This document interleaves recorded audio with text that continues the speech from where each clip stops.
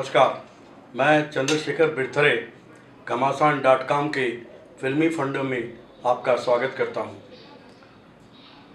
Film industry, फिल्मी दुनिया के बारे में आजकल के नौजवान बहुत सारे ख्वाब पाल लेते हैं। फिल्मी फिल्मी दुनिया एक सपनों की रंगीन दुनिया है। फिल्मी दुनिया का तिलस सबको आकर्षित करता है। और आज के इस युग में फ़िल्म इंडस्ट्री में अभिनय के लिए जाना कौन नहीं चाहता? हर युवा, हर युवती एक ख्वाब देखती है कि वो फिल्मी दुनिया में जाए और अपना हुनर, अपना अभिनय के द्वारा वहाँ सफलता हासिल करे। लेकिन दोस्तों, मैं आपको बताना चाहता हूँ कि फिल्मी दुनिया एक उद्योग है। फिल्मी एक उद्योग है जहाँ निर्माता उन कलाकारों पर पैसा लगाता है, उन कलाकारों पर पूंजी लगाता है, जो प्रसिद्ध हैं, जिन्होंने कई फ़िल्मों में काम कर चुके हैं।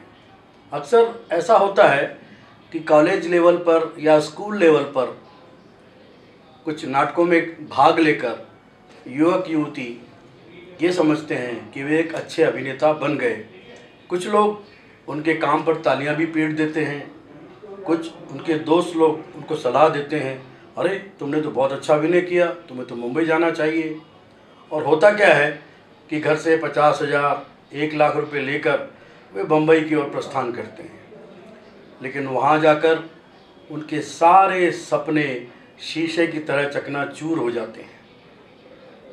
जैसा कि मैंने आपको बताया, फ़िल्म इंडस्ट्री, फ़िल्म उद्योग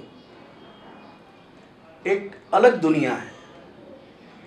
देखिए, जैसे नाटक दृश्य और श्रव्य माध्यम होता है, उसी तरह फ़िल्में भी दृश्य और श्रव्य माध्यम होती हैं। और जब हम फ़िल्मों की बात करते हैं तो वो पूरा तकनीकी माध्यम है। उसमें आपको उसकी जानकारी, फ़िल्म बनने की जानकारी होना बहुत ज़रूरी है। शॉट्स क्या होते हैं, फ़िल्म की कहानी क्या होती है, डायलॉग क्या होते हैं, अभिनय कैसे किया जाता है तो मैं आप सभी को एक एडवाइस देना चाहता हूँ कि पहले फ़िल्म इंडस्ट्री में जाने के पहले आपको फ़िल्म का प्रशिक्षण लेना फ़िल्मों में अभिनय करने का प्रशिक्षण लेना बहुत ज़रूरी है। अगर आप बिना प्रशिक्षण के वहाँ जाते हैं तो आपको बहुत मायूसी होती है और आप वहाँ अपना पैसा, अपना समय गंवा कर लौटते हैं और पता चलता है कि लोगों को वहाँ की कहानियाँ जो सुनाते हैं, उससे लोगों को निरुत्साहित करते हैं। अक्सर ये भी आया देखने में कि बहुत सारे फ़िल्म प्रशिक्षण केंद्र पूरे भारत के शहरों में फैले हुए हैं। लेकिन सही प्रशिक्षण कहाँ मिलता है? प्रामाणिक प्रशिक्षण कहाँ मिलता है? ये आपको देखना चाहिए, समझना चाहिए। वैसे मुंबई में किशोर नमित कपूर, रोशन तनेजा, आशा चंद्रा अपने स्कूल फ़िल्म प्रशिक्षण के स्कूल चलाते हैं। अनुपम खेर साहब भी एक्टर प्रिपेयर्स करके एक संस्था चलाते हैं। सुभाष घाई भी वहाँ पर फ़िल्म प्रशिक्षण देते हैं। और सबके वहाँ पर अलग अलग धनराशि जो आपसे ली जाती है। लेकिन एक बात है कि अगर इन फ़िल्म प्रशिक्षण देने वाली संस्थाओं में अगर आप प्रवेश लेते हैं और वहाँ सीखते, समझते हैं तो आपका काम आसान हो जाता है। इसलिए मैं आपको यही सलाह देना चाहता हूँ कि आप इस संबंध में सोच समझकर काम करें और सफलता एक या दो महीने में नहीं मिलती। फ़िल्म इंडस्ट्री में लोगों को दस दस साल पंद्रह पंद्रह साल हो जाते हैं। कई लोग जो नेशनल स्कूल ऑफ़ ड्रामा से पास होकर जाते हैं, उसके बाद भी उनको कोई काम नहीं मिलता।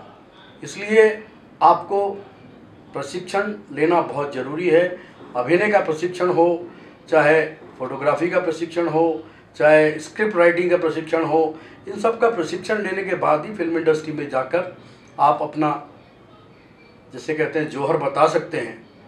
एक और सलाह मैं आपको देना चाहता हूँ। आजकल नकली और जिसको बोलते ना फेक फ़िल्म प्रोडक्शंस की बहुत बाढ़ आई हुई है।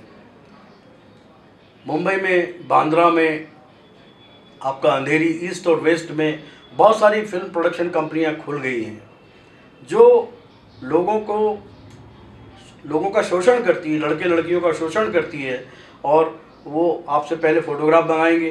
फ़ोटोग्राफ आपके जब पहुँच जाते हैं तो वहाँ से सूचना देंगे कि आपका सिलेक्शन हो गया है, और आप फला फला बैंक में पाँच हज़ार या दस हज़ार रुपये जमा कर दीजिए। फिर वहाँ जाने के बाद आपका ऑडिशन होता है। ऑडिशन में फिर वो आपको बोलते हैं कि आप सफल हो गए। अब अभी एक काम करिए, पोर्टफोलियो बनवा लीजिए। और पोर्टफोलियो की जो धनराशि बताते हैं, बीस हज़ार, तीस हज़ार, या फिर आईडी कार्ड की बहुत आजकल बात चलती है कि आपके पास आइडेंटिटी कार्ड है कि नहीं? किसी फ़िल्म बनाने वाली संस्था का या फ़िल्म में जो अभिनय वाले जो करते हैं, उनकी संस्था का वो आपके पास आइडेंटिटी कार्ड है या नहीं है? तो आइडेंटिटी कार्ड के लिए भी जिसको बनाने में छब्बीस सौ तीन हज़ार, जैसे वहाँ पर मनसे है और जैसे शिवसेना है, ये लोग तीन हज़ार में आइडेंटिटी कार्ड बना देते हैं। और जो सिंटा है, एक संस्था है, उसका आइडेंटिटी कार्ड पैंतीस हज़ार में बनता है। लेकिन उसको भी आप अगर चाहें तो किसी निर्माता जिसकी फ़िल्म में आपको काम मिला है, या किसी टीवी सीरियल में काम मिला है उससे लिखवा लें तो दस हज़ार रुपये में वो भी बन जाता है। लेकिन आइडेंटिटी कार्ड के नाम पे भी वहाँ बहुत लूट मची है। कोई पचास हज़ार बोलेगा, कोई तीस हज़ार बोलेगा। तो इन सब चीज़ों में इन्वॉल्व होने के पहले, आप पहले तो किसी अच्छी संस्था में अभिनय का प्रशिक्षण लीजिए। कैमरा किस तरह चलाया जाता है, कैमरे के एंगल समझिए, शॉट्स क्या होते हैं और संवाद किस तरह से अदा किए जाते हैं, टाइमिंग क्या होती है, अभिनय के पूरे कितने प्रकार का अभिनय होता है, रस क्या होता है और उसके साथ फिर भाव क्या होते हैं, इन सब का प्रशिक्षण आप लेंगे और उसके बाद कैमरे के सामने कैसे एक्टिंग की जाती है, ये जब समझेंगे, तभी फ़िल्म इंडस्ट्री में आप सफल हो पाएँगे। धन्यवाद। Subscribe our channel and press the bell icon for more updates.